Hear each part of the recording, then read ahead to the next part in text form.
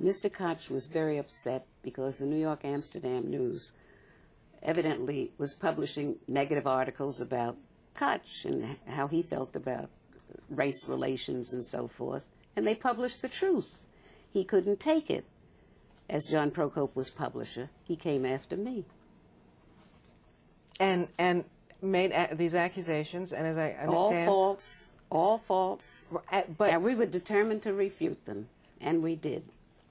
That's what is phenomenal. That that you, because as I understand it, HRA and the city, this, they basically said, "You're out of it. You're out of it.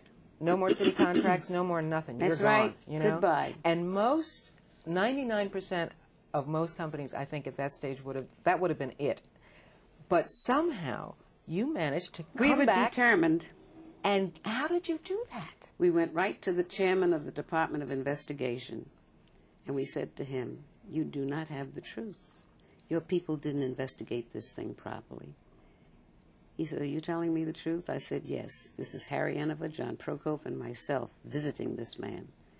He says, I'm going to put my special deputy on it. I'm going to have him come to your office and review all of your records.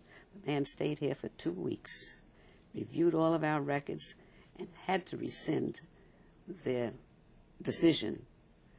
And that's how it came out in the New York Times that they had made a mistake. They were sorry and so forth, but never got the business back.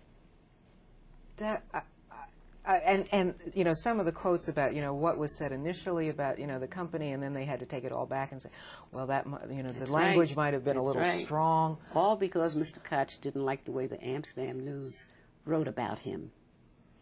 And so he came after my company. That must have been one of the more painful experiences Oh, that was life. terrible. I mean, That was awful. It makes you almost want to hate people.